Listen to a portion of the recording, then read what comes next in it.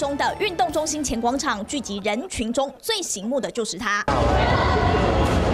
穿着蓝衬衫、牛仔裤，国民党台北市长候选人蒋万安到台中潭子区国民暨儿童运动中心考察，在超级星期六离开台北，比表定时间还早抵达。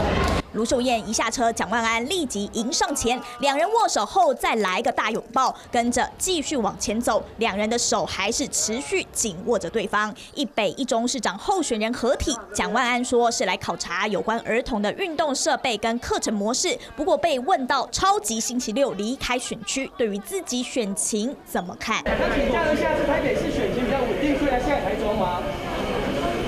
今天特别就是针对我们。